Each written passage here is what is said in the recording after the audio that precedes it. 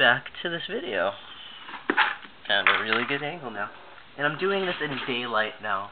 If you can see, uh, this is really, really nice. so, open the Hobby Hobbyland stuff. And we got, you guys don't know what this is. This is plastic bubble. It's like a plastic bubble wrap thing. Except in tubes. Yeah. These are perfect for packaging. If you don't have bubble wrap. Bubble wrap is fun, but if you have this, it's just as fun too. Yeah. and we got more bubble wrap. So toss that over there. And we have this nicely packaged. Um, I didn't really order this until um, this is uh yeah I didn't order this. I've had this. This was almost canceled. I didn't order it. If I didn't or if I didn't order this, my uh, cancel my uh, pre-orders and my other orders that I had would not go through. So I have to get this out of the way. So first we have um, Mr. Hobby's flat top coat, uh, water soluble. Uh, this is how you would make your um, make your kits like hold the paint or like make it not as glossy. Especially if you don't uh, spray paint your kits, it puts like a really nice coat on it, so it looks like it um, so it doesn't really uh, so it looks like it's been painted. Or and it also takes off the like little swirls that you see in the plastic so it makes it look even nicer. So I'll be showing a video of that too maybe uh, I don't know and we also have Mr.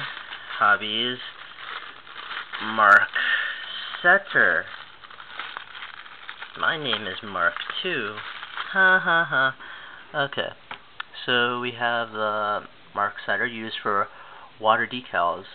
I'll be using, oh, there's English instructions here.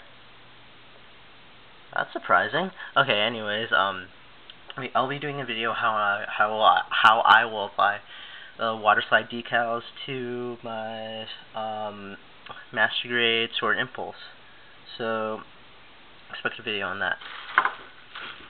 So we have those two for one package. But I also got another package. A bigger one. So yeah. I'm going to be opening this one now too. So just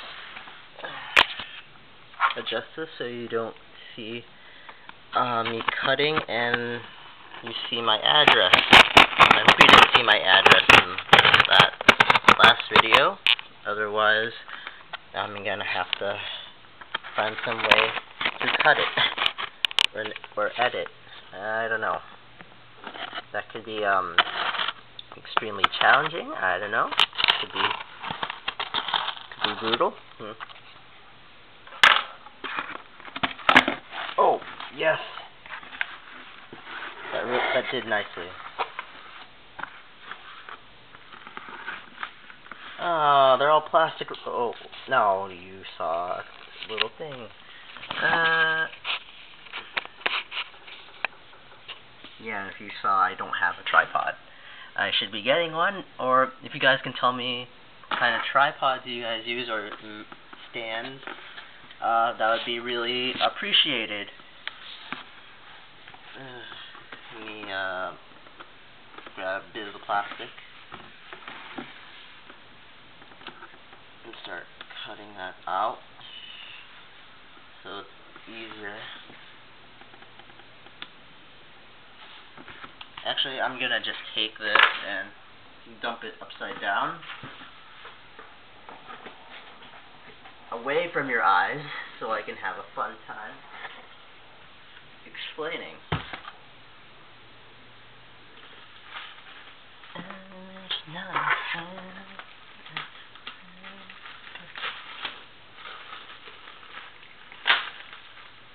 Oh my god. Oh just feels really, really nice.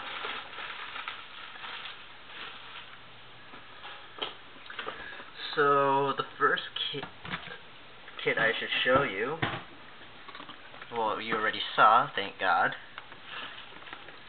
is this. It's a Kogia's um, kit. Uh, it's the Lancelot Royal Coating version. This is um this is the more expensive of the Lancelot kits, the most expensive. It retails at 3,800 yen. But however, thanks to the HobbyLink Japan sale, which is now over, uh, it is it was um 1,140 yen. And there were a couple kits at the end of the sale that weren't purchased. So I was really surprised that not many people bought this kit. Also, they had the Vincent, um, what was it? Uh, the Commander version that uh, Guilford uses. It retailed for about 800 yen and eight, basically $8 in American. Um, no one really bought that kit. I was surprised. It was a really good deal. So let's take a look at the box. Some poses, uh, stuff detailing about the uh, accessories, slash harken, Maser Vibration Sword, VARIS Rifle, Cockpit, Land Spinners, box art. Oh, sorry. Uh, package slightly damaged, but it's okay. Mm, it's not that bad. Uh, more stuff about the Lancelot. And its pilot, Suzaku Kururugi. Um, yeah, the figure that you could paint, the 135th scale version of him, it's, um, yeah, these figures that come with, like, Master Grades and other kits like this, they're not extremely detailed. It's kind of what annoys me, like, oh, th thank you for adding it, but you could have done better. Could have, like, made it stand out a bit more. So, anyways, um, I know that Prime 92 and uh, Versus Z are basically have are are going to be getting their uh, high grade gun, uh, Exia Repair 2 and O Gundam. Also, Robert 184 has already has his um, kits, and these three people do amazing reviews, and they already do interesting stuff with their videos. Uh, take for example, uh, versus Z, uh, or his last video, uh, which was a review of the Double O Riser Trans Am mode, extremely interesting. So I can't really compete with these uh, two people. I or actually I want to differentiate myself from these three.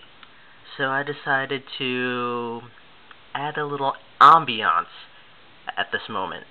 So, second? One second.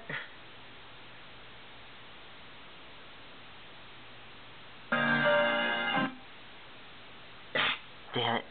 Uh...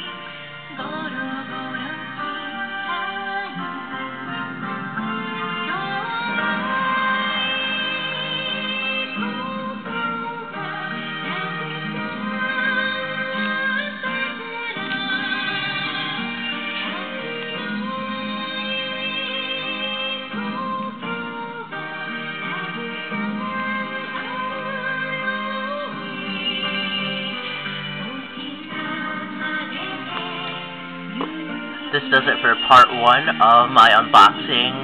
Uh, uh, stay tuned for part two. We'll take a look at what's inside these kits.